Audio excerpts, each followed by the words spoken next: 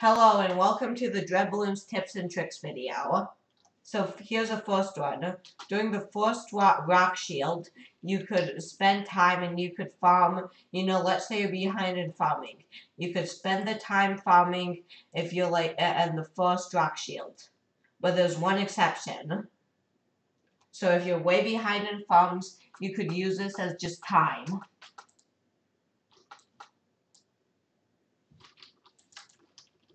Please ignore this. Anyway, first rock shield is equal to time to farm. That's one tip.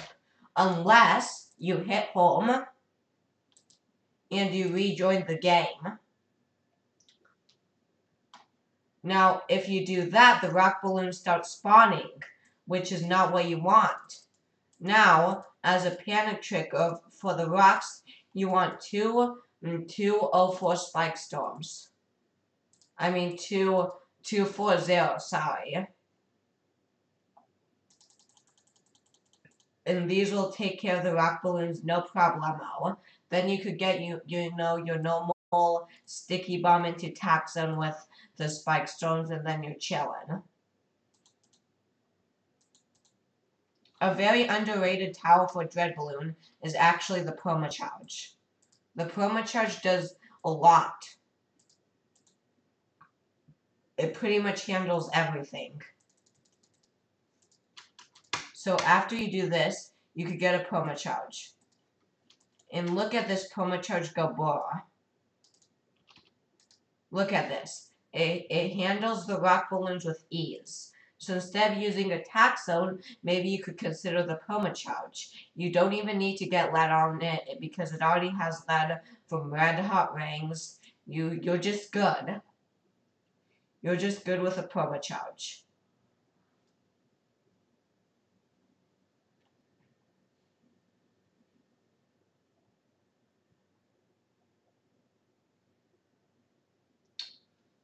Okay, so after I finish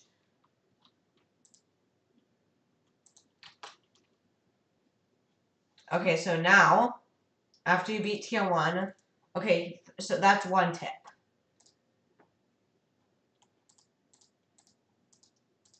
Now let's go to Sandbox for tip number two. Tip number two is this. For um for the for Dread Balloon insta kills. What is a minimum to insta to kill three out of four of the skulls? Well, a normal, the minimum is a 025 Perma Spike with an overclock engineer a 3 to 0 out buff, and a jungle drums. Here's a way to save money with the overclock.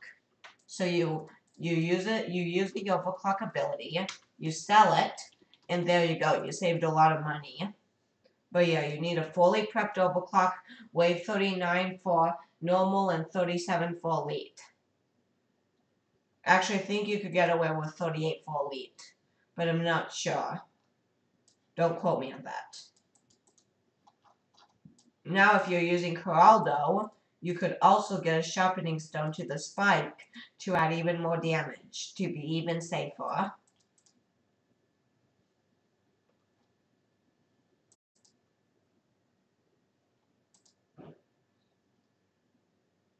Okay.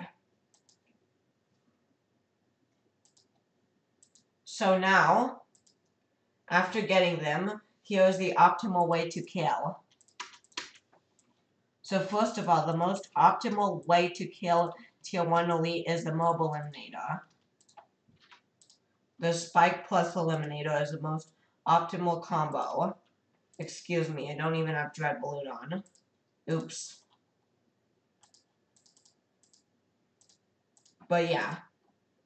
For Elite, So remember, it's like Spike Wave 37 or 38.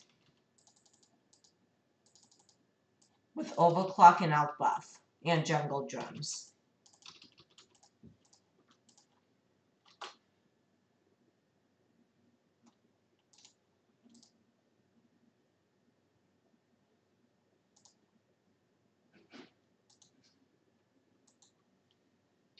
So now after you've built, you built your spikes, let's just put this fast forward speed to very high.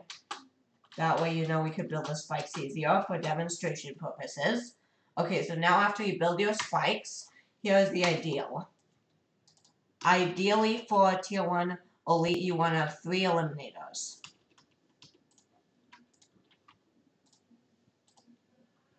This is the absolute fastest way to kill it. Like that. But what if you can't afford the Eliminator? Well, you could also substitute the Eliminator for an overclock tack zone. And you could get a glue strike. The glue strike actually deleds a boss, so you don't even need to deled it. As you could see, look at this. An overclock tack zone plus a glue strike is an OP combo. So you use the ability, excuse me, sorry, it's a beauty primary. We have to build our spike pile first. Let's build our spike pile. Okay. We built our spike pile. Now, you overclock tack zone, and then you use glue on the dread balloon. And as you can see, look at this. The glue deleds the boss for you, so you don't even need, you don't even need like AMD spam.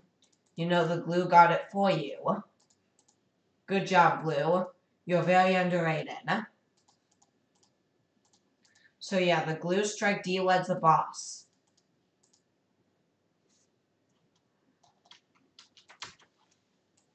Now, for tier 2 insta-kill, you want to perma spike on close, and you want to buy and resell homeland defense. You always want to make sure it's overclocked, and you want the perma spike wave 57. You do this, you, you and you buy and resell it. Then right when this icon, this homeland icon is off, you use it again.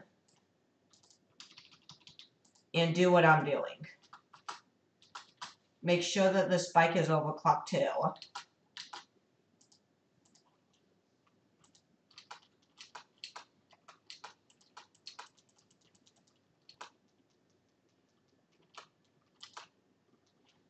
So now after you got your perma spikes to insta-kill, it's tier, tier 2.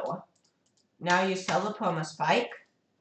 You make sure you have a homeland off cooldown. You could use for all those rejuve potion Eh, for easier things. And if you're rich, you would use a support Sun Temple if you're very rich. But let's say your eco is average. Well, then you use a homeland defense and spam the crap out of tax.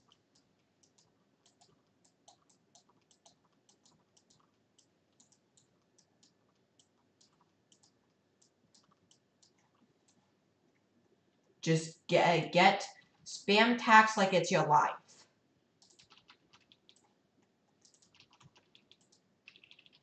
Make sure to overclock the tack zone and just spam overdrives.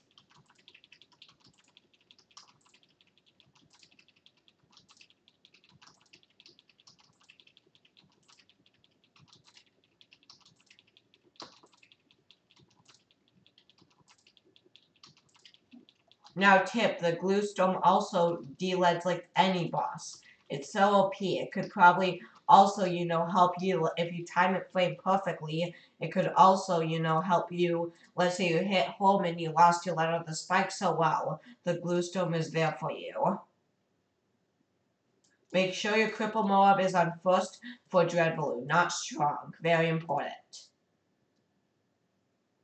So now you send wave 60 and the Homeland and Glue Storm.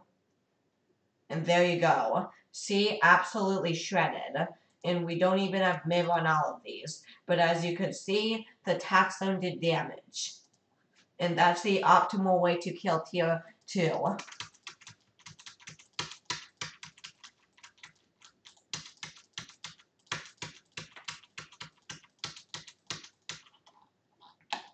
Now for tier 3.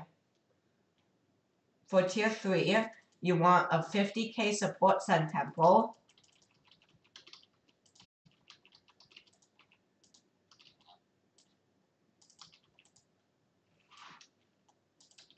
A Perma Spike.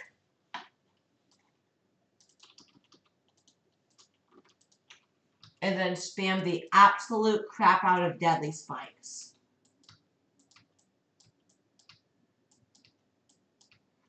If there's not that much room for deadly spikes, you could a 10x ultra boost the perma spike or spam more, more eh, or overclock the deadly spikes for you know more min maxing if there's not that eh, enough room for all of what you need.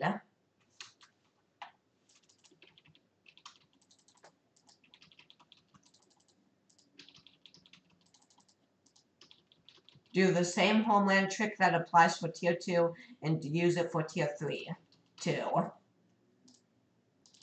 Make sure you have MIB on all of your spikes.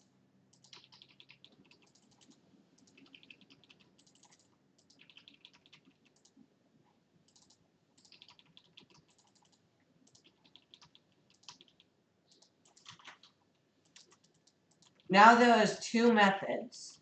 After here there are two methods. The I'm broke method and the I'm rich method.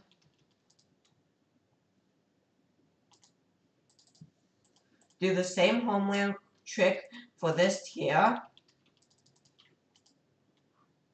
Let's just speed this up. Just, you know, to make this go a little quicker. Let's just do 10x so the game could actually keep up.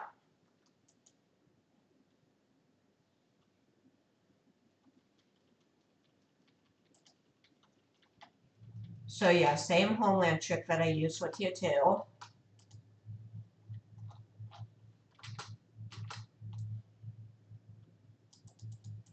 Now you get your super brittle. And now first let's start with the optimal method. The optimal method is to get an ace paragon.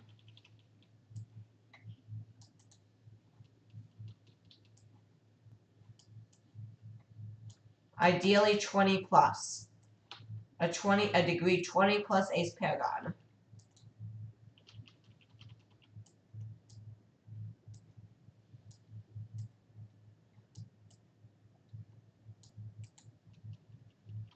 If you can't if you can't afford the ace paragon 20 plus, that's okay.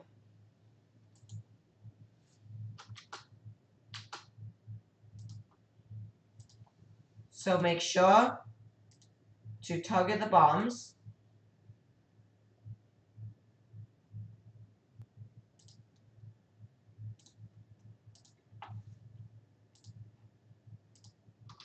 Now send Wave 80 and use the bomb ability. We didn't even have enough spikes for Edge. But anyway, if you do have enough spikes, that should walk. It was kind of buggy, but that should walk. I have no idea why this like spike set did not walk. I bet I just didn't get enough spikes or something. Let you know overkill on the spikes. And then do this again. You also should get a Perma Brute Alchemist. Something which you should not forget, but I forgot.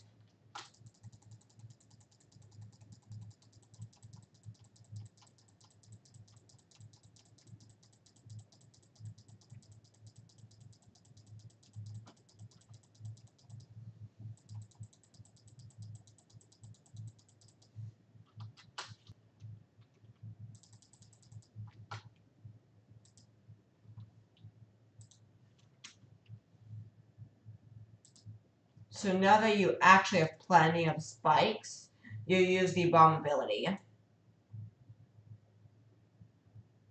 So there we go. That's how it should look like. If you use a proper amount of spikes, that is how it should look like.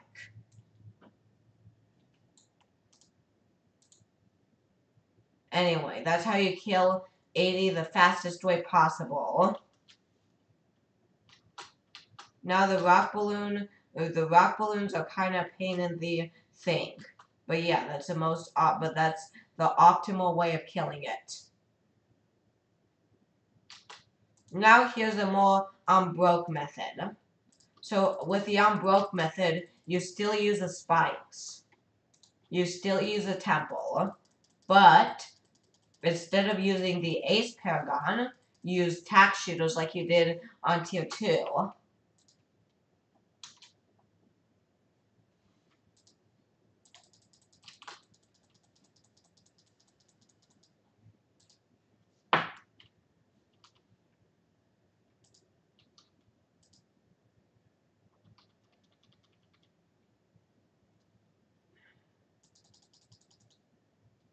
My this is really overwhelming my PC. Let's you know sell the spikes while we still have a chance.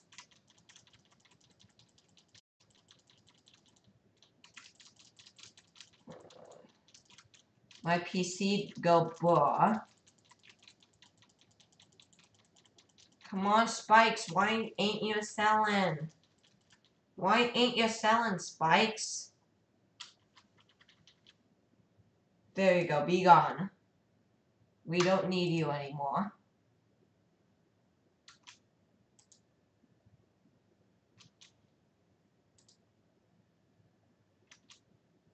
So make sure you have your cripple Moab and super brittle. Very important.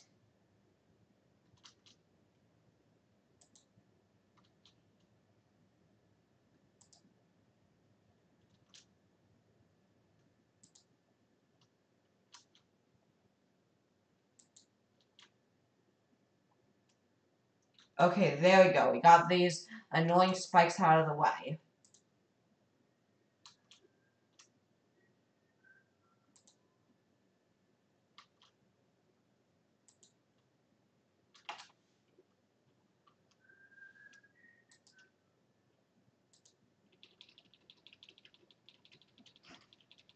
So now you spam tack shooters.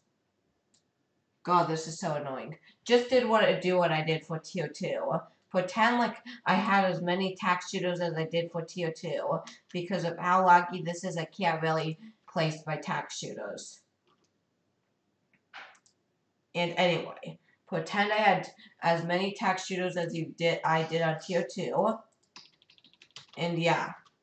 And make sure you have like a Sun Temple buff on the tack shooters. And that's how you do the tier 3 the unbroke method. Tier 4 and 5 are kind of straightforward. What you want for tier 4 is you want to do paragons. So you just want like, you know, a degree like 40 plus ace.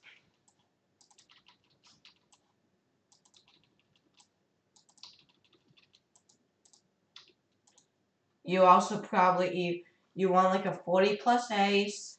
You, you, you know you could get, you could also benefit from other things including like you also want like a 40 plus doubt and you know after that you probably are good but you could also get a 40 plus ninja if you're feeling it and if you're really feeling it, you could get a True Sun God in my tack shooter and Spam Sun Avatar. Now, Tier 5 is just a whole load of chaos for you, so I'm not going to go over that.